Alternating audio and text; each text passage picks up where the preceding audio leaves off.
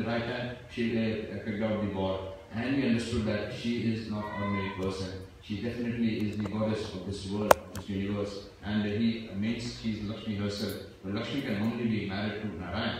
That is why he put this Veda and of course then there is great details that how and why what happened and all. So later on, uh, this Veda was specially made so that Lakshmi will get married to Narayan because only Lakshmi or Narayan will be able to pick this bow or string this bow. So even he, uh, Janak Maharaj, who is absorbed in uh, the bliss of Nirvika Nirvishesh, when he sees the beauty of the Lord, his heart is immediately attracted. Just like the uh, Shukdev Goswami, he is absorbed He's a Brahmagyani, but the moment he hears the stroke describing the beauty of the Lord, his heart immediately becomes attracted. इसलिए यहाँ पर कह रहे हैं, जो भगवान की जो कथा है तो भगवान की जो कथा बड़े बड़े ज्ञान, कहते भव औषध भगवान की कथा का उदाहरण क्या दिया? बोले, ये भव रोग की बढ़िया दवा है। भगवान की कथा सबसे बढ़िया दवा इससे दवा कुछ नहीं। इसलिए श्री सुखदेव गोस्वामी परीक्षित को बोले, तुमको कुछ भी करने का ज़रूरत नहीं। केवल यहाँ पर बैठो और भगवान की कथा सुनो। कथा सुनते सुनते जब तक तुमको ये अनुभूति नहीं हुई, मैंने ये भवसागर से पार हो गया, तब तक हम नहीं छोड़ा। इसलिए उन्होंने केवल भगवान की कथा सुनते सुनते ही ये भवसागर से पार हो जैसे हम यहाँ पर बैठे हुए हमको लगता है, अरे कथा ही तो कथा और थोड़ी और कुछ हमको लगता है तो कथा ही तो सुन रहे बोले, नहीं। कहती, ये बहुत, सबसे बहुत बड़े साधन है। बोले, साधन किसको कहते हैं? बोले, साधन उसे कहते हैं, किसी तरह से ये मन को कृष्ण चरण में लगाना यही साधन है। किसी तरह से आप स्वयं देखो, जो हरिनाम करने के लिए बैठो, बोले, हरे कृष्ण हरे कृष्ण कृष्ण कृष्ण, हरे हरे हरे राम हरे राम राम राम, बोले, हरे कृष्ण हरे Krishna Krishna Krishna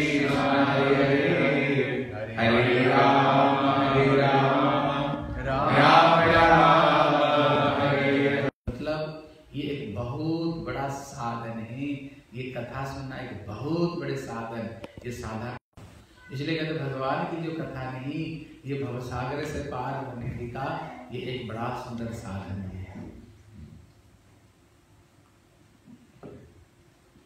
So he's uh, quoting uh, Shukla Goswami who is describing about the qualities of Harikatha and he's saying, he's using the words that what is this? This is Bhav Rog Aushad. means this is the medicine, Bhav, bhav means the material world, the ocean of material existence, Ro means the disease. So this uh, material existence is like a disease and this is Oshad, a medicine to cross over this uh, ocean of material existence.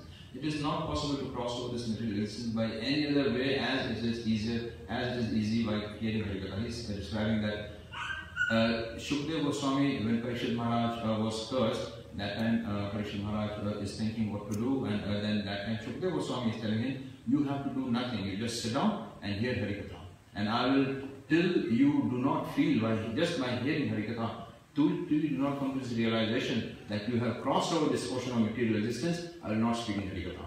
So for seven days and seven nights, unbroken, we speak in Harikatha. And this is our, uh, look at our stage also we may think that, oh, what are we doing now? We are just hearing Harikatha. What? This is just Harikatha, that's all. But think about this, actually this Harikatha is a very big sadhana. It's a very, very big uh, practice, devotional practice. Why? Think about this, that when we are chanting Harinam, in chanting Harinam, we are chanting Harinam, Hare Krishna, Hare Krishna, we are chanting, we are, uh, we are thinking that we are trying to absorb our mind, and what happens? We are chanting by our tongue, but our mind has gone somewhere else. Or when we start chanting our Gayatri Mantra, we start chanting, we uh, take, uh, perform acharan, we sit down on a clean asan, wearing clean clothes, and then we begin to chant our Gayatri Mantra. We are chanting our Gayatri Mantra. By the end of the first mantra, our mind is somewhere flying all over the universe. So this is so difficult to absorb your mind in the Lord. But when you are hearing Harikatha, what is happening? Very easily, your mind is absorbed in the Lord. Very easily, you are thinking, when you are hearing Harikatha, you are thinking about the Harikatha. Thinking about the Harikatha means thinking about the Lord. This is a very strong medicine Bhavrog Oshan means it's a very strong medicine, a very strong spiritual practice, devotional practice to cross over, cross over this disease of material resistance. Hare Krishna, Hare Krishna, Krishna Hare Hare, Hare Ram, Hare Ram, Ram Ram, Hare Hare. इसलिए श्री सुखदेव कहते हैं भव औषध क्षत्र मनोभिरामात उत्तम श्लोक गुणान बिना इतने सुंदर जो भगवान की कथा है कहते ऐसे कथा में जिनकी रुचि नहीं होता है उनको क्या समझना चाहिए? कहते वो एक ब्याज है। पशुओं को हत्या करने वाले वो एक ब्याज है, हैं? एक ब्याज है। इसलिए प्रभुपाद यहाँ पर कहते हैं हैं? इसलिए टीका में बहुत बहुत कुछ बात बताते हैं। इसलिए कहते भगवत कथा में ही मन को नियुक्त करना यही सबसे बड़ा साधन है। इससे बड़ा साधन कुछ नहीं। इसलिए, आज हम लोग श्रवण करेंगे। बृहद भागवत अमृत कुछ कथा सुनेंगे, ठीक है? कहते ये हमारे संप्रदाय में ये जो बृहद भागवत अमृत जो ग्रंथ है, ये हमारे गुरु जी की सबसे प्यारा ग्रंथ था। जब मैं मथुरा में था, मैंने देखा गुरुदेव ये ग्रंथों को दो दो बार पाठ किया मैंने देखा, जब कोई होता था, गुरुदेव किसी ग्रंथ को लेते थे, है इसी ग्रंथ को लेते थे। कहते, ये जो बृहद भागवतामृत ग्रंथ, जितने सारे गोस्वामी ग्रंथों में गुरुदेव कहते ये सबसे पहला ग्रंथ है। और जितने गोस्वामी लोग दूसरे दूसरे ग्रंथ लिखे गुरुदेव कहते थे ये ग्रंथों को आधार करके उन्होंने सारे ग्रंथों को इसी ग्रंथों को आधार करके लिखे सारे ग्रंथों को। और प्रश्न है श्री सनातन गोस्वामी ये ग्रंथ क्यों लिखे? इसका क्या रहस्य है? इसको लिखने का क्या कारण है? अबल अबल का। हाँ जैसे भगवत कथा ही सबसे बड़ा साधन है। कान और हृदय को भी आनंद देने वाली So he's uh, describing that how Shukadeva Goswami is uh, describing about the, the qualities of Harikatha. That Harikatha is a very powerful sadhana, and uh, this is such a powerful sadhana that it can very easily it can absorb you in the uh, thinking, meditating on the Lord, and it can make you cross over this existence. He is describing that consider this to be the strongest sadhana. Uh, Bhakti Saraswati Goswami Prabhupada on uh, commenting on this shloka, he is speaking, he has spoken many many things, but he is describing that consider this to be the strongest of sadhanas. And if you take shelter of this sadhana, then you understand that actually he is describing that, Shukadeva Goswami is describing that who is not absorbed in listening Harikatha? A person who is uh, such a person who is not absorbed and who doesn't have interest in listening Harikatha, understand him to be a hunter. Hunter means killing of his own self. He's killing his own self.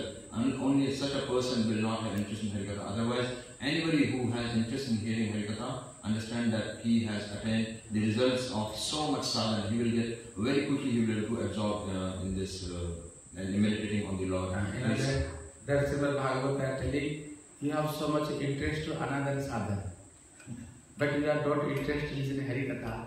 So Bhagavad telling you are all leaves of bhakti useless.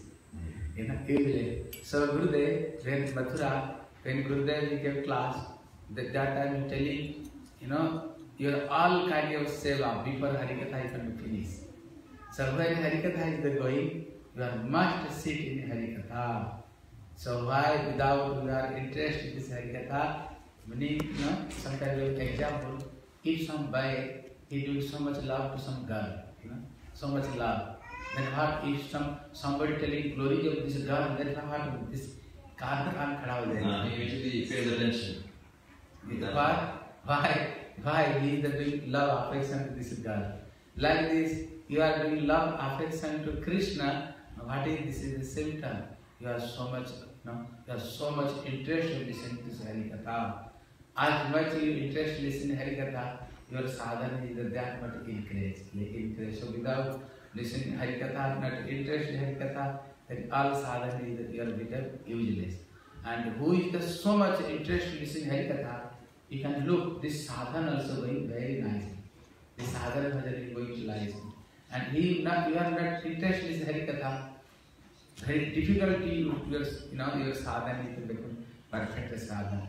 So this nine leaves of bhakti, what is the first Sravanam? First bhakti is the Sravanam, then is the Kirtana. Then your Kirtana become perfect if your Sravan is the very nice.